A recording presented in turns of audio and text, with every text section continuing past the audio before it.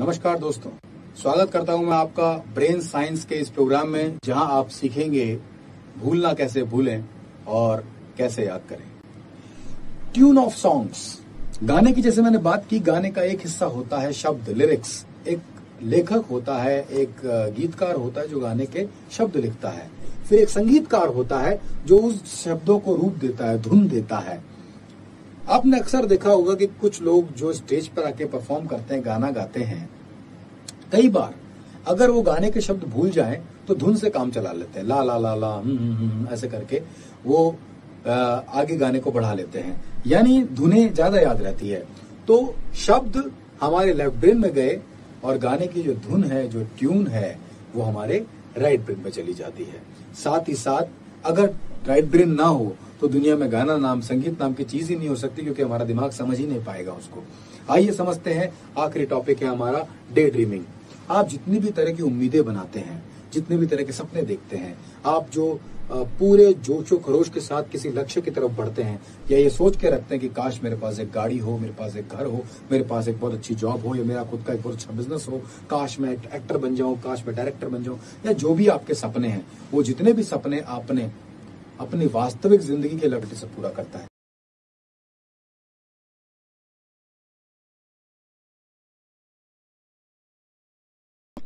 आज हम एक बेसिक बात को जानेंगे कि ब्रेन साइंस के या मेमोरी के बेसिक्स क्या होते हैं, कैसे मेमोरी बनती है चैनलाइज होती है, और ऐसे कौन से फैक्टर्स हैं जिन्हें हम यूज़ करें तो हमारी पढ़ाई को बेहतर तरीके से कर सकते हैं रिजल्ट्स को बढ़ा सकते हैं एग्ज़ाम रिजल्ट्स को, और इसी के साथ साथ हमारी लाइफ में भी मेमोरी को कंट्रोल में कर सकते हैं।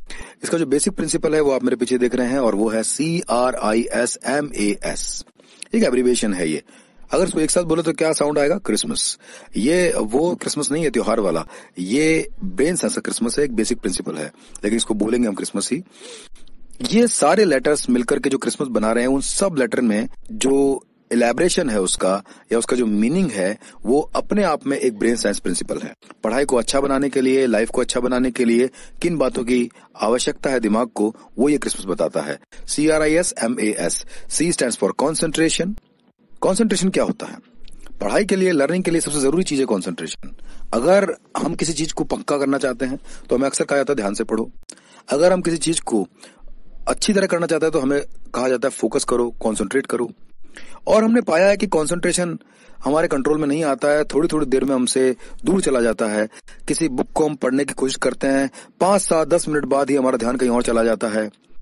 क्योंकि हमारे दिमाग में बहुत सारे थॉट्स हैं।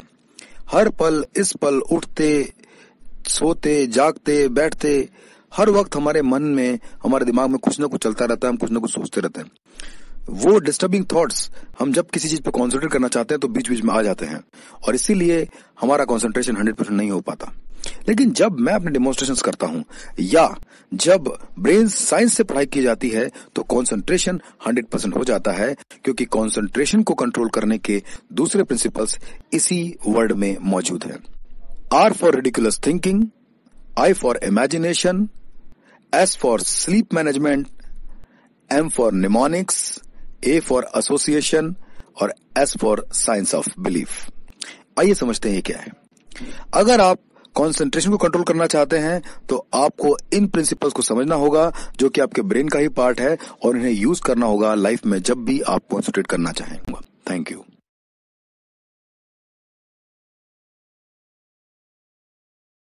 क्रिसमस का आखिरी लेटर है एस साइंस ऑफ़ बिलीफ यानी कि अपने दिमाग पर विश्वास करना। हमारा दिमाग बहुत पावरफुल है न्यूरॉन से मिलकर बना है। एक हमारे ब्रेन में दस हज़ार करोड़ न्यूरॉन्स होते हैं। एक न्यूरॉन इतना छोटा होता है कि आल्पिन के पॉइंट वाले हेड पर वन थाउज़ेंड आ सकता है। बहुत छोटा होता है। लेकिन उस छोटे से न्यूरॉन की पावर इतनी ज़्यादा होती है कि उस न्यूरॉन में आप 160 जीबी का डेटा इकट्ठा कर सकते हो। न्यूरॉन का काम बिल्कुल लैपटॉप के जैसा होता है। लैपटॉप के दो काम है डेटा स्टोर करना और डेटा को सॉफ्टवेयर के माध्यम से फ़ंक्शन में लेके आना। इसी तरह से न्यूरॉन का काम भी ऐसा ही है इन्फॉर्मेशन को स्टोर करना और उसे बाद में फ़ंक्शन में लाना। तो आ, इस उदाहरण से समझ में आया कि एक न्यूरॉन एक लैपटॉप के बराबर है। अगर एक लैपटॉप भी बहुत सारा डेटा रख सकता है तो एक न्यूरॉन भी ऐसा कर सकता है फॉर्चुनेटली और कोइंसिडेंटली सरप्राइजिंगली आपके दिमाग में टेन थाउज़ेंड करोड़ न्यूरॉन्स हैं। यानी टेन थाउज़ेंड करोड़ लैपटॉप के बराबर इस वक्त आपका दिमाग काम कर रहा है। लेकिन अगर आप इसको इस तरह से लेते हैं कि अगर मैं आपसे कुछ याद करने को कहूँ या डेटा स्टोर करने को कहूँ तो एक लैपटॉप में कितना आ सकता है? अगर मैं आपकी बुक्स की बात करूँ तो एक लैपटॉप में कितनी बुक्स आ सकती हैं? एक लैपटॉप में अगर पाँच हज़ार बुक्स आ सकती हैं तो आपके दिमाग में ten thousand multiplied by five thousand इतनी बुक्स आ सकती हैं। अगर आपको पाँच किताबें भी याद नहीं है तो इसका मतलब आप अपने एक्चुअल न्यूरॉन कैपेसिटी का बहुत ही कम इस्तेमाल कर पा रहे हो। लैपटॉप तो पावरफुल है, लेकिन उसकी पावर का इस्तेमाल तभी होगा जब वो लैपटॉप चलाने वाला सॉफ्टवेयर इंजीनियर होगा। जब वो लैपटॉप चलाने वाले को लैपटॉप यूज़ करना अच्छे से आता होगा। अगर लैपटॉप चलाने वाले को लैपटॉप चलाना आता ही नहीं होगा तो कितना ही पावरफुल लैपटॉप हो, उसके काम नहीं आ सकता। बिल्कुल ऐसे ही आपकी न्यूरॉन कैपेसिटी तो बहुत पावरफुल है, लेकिन क्या आप उसे इस्तेमाल करना जानते हैं? अगर नहीं जानते हैं तो आपके इतने सारे लैपटॉप भी किसी काम के नहीं है, और जब हम इस दुनिया से जाएँगे तो ये खाली ही रह जाएँगे। अगर इन्हें यूज़ करना सीखना है तो आपको ब्रेन साइंस सीखना पड़ेगा। You need to believe that your brain is strongest computer in the world और दुनिया कहती है सीइंग इज़ बिलीविंग यानी देखेंगे तो ही विश्वास होगा। मैं कहता हूँ बिलीविंग इज़ सीइंग पहले विश्वास करो तो दिखने लग जाएगा। तो आप इस प्रिंसिपल से सीखेंगे कि ब्रेन साइंस कैसे आपको पढ़ाई और लाइफ में successful powerful strong super personality बना सकता है। आगे वाले एपिसोड्स में मैं आपको सिखाऊँगा। आई फॉर इमेजिनेशन आइंस्टाइन कहते हैं imagination is the most powerful thing in this world knowledge से भी ज़्यादा पावरफुल है इमेजिनेशन इंसानी दिमाग की सबसे पावरफुल चीज़ है इमेजिनेशन इमेजिनेशन का मतलब होता है किसी भी चीज़ का क्रिएटिव इमेज बना पाना। अगर मैं कहता हूँ एरोप्लेन तो आपके ब्रेन में एरोप्लेन वर्ड के साथ एरोप्लेन का पिक्चर भी आ जाएगा। दैट इज़ इमेजिनेशन इमेजिनेशन आपका कोई एक्सपीरियंस्ड पिक्चर भी हो सकता है या आपका ड्रीम भी हो सकता है। ये बहुत ही पावरफुल चीज़ है। आज से 500 ईयर्स पहले जानवर और इंसान एक जैसे ही थे। जानवर और इंसान जंगल में रहते थे और दिन भर खाने की तलाश में घूमते रहते थे और शाम को वापस अपनी जगह पे आते थे। जानवर आज भी ऐसे ही हैं। उनमें कोई बदलाव नहीं आया because they can not creatively imagine लेकिन इंसान बदल गया, बहुत सारे आविष्कार किए, और आज हमारी दुनिया बिल्कुल अलग है, जंगली दुनिया से अलग है। हमने बहुत सारी सुविधाएँ बना ली है, और हम एक कंफर्टेबल लाइफ जी रहे हैं just because of this power of imagination सोचिए, इंसान की सबसे पावरफुल चीज़ इमेजिनेशन जो जब साइंटिस्ट ने यूज़ की तो आविष्कार किए। जब इंजीनियर्स ने यूज़ की तो बहुत बड़े बड़े आकार बने। जिसने भी इस्तेमाल की, कुछ न कुछ बदलाव लेकर आया। क्या आपने कभी पढ़ाई में इस्तेमाल किया? नहीं किया। पढ़ाई में अगर आप इमेजिनेशन को यूज़ करेंगे तो पढ़ाई भी इफ़ेक्टिव और इन्वेंटिव हो जाएगी। थैंक यू क्रिसमस का अगला लेटर है एस फॉर स्लीप सोना हमारे लिए क्यों ज़रूरी है? क्या आपने कभी सोचा है? हम क्यों सोते हैं?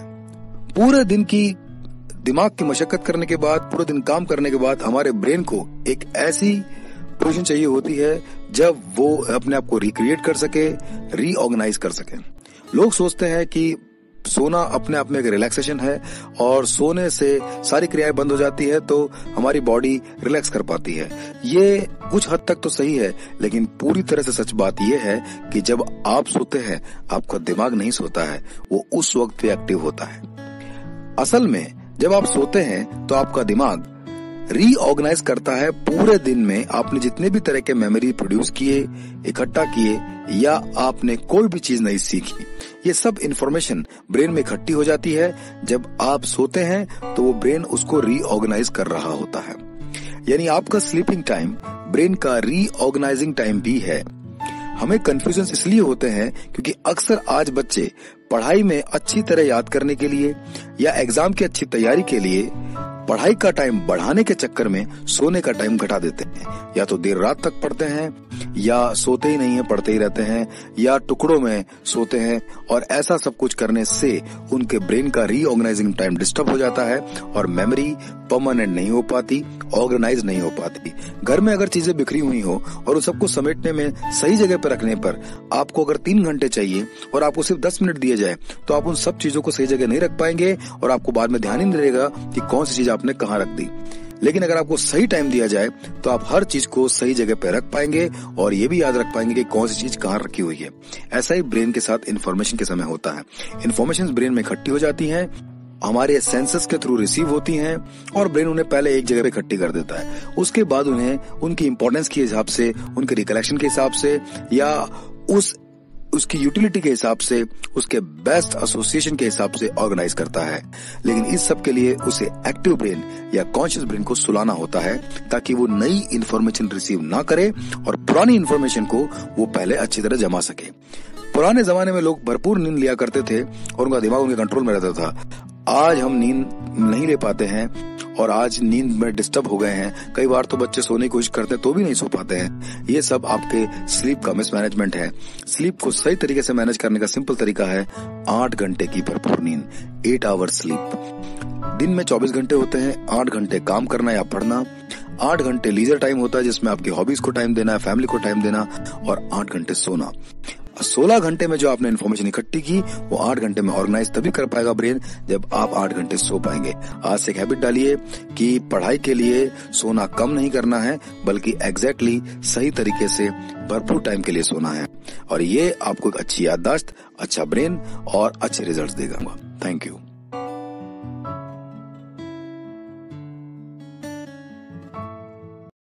कंसंट्रेशन को कंट्रोल करने के दूसरे प्रिंसिपल्स इसी वर्ड में मौजूद है। R for ridiculous thinking I for imagination S for sleep management M for mnemonics A for association और S for science of belief आइए समझते हैं ये क्या है।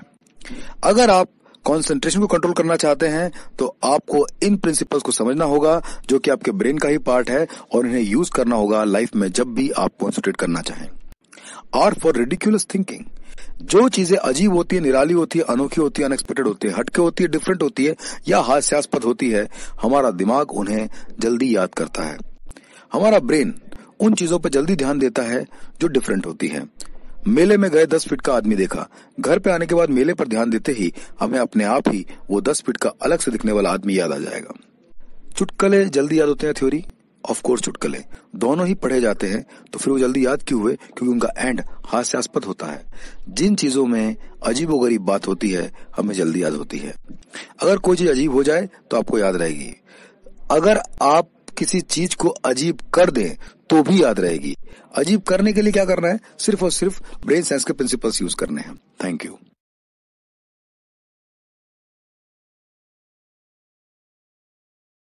एसोसिएशन एसोसिएशन का मतलब होता है दो इंफॉर्मेशन को आपस में जोड़ना।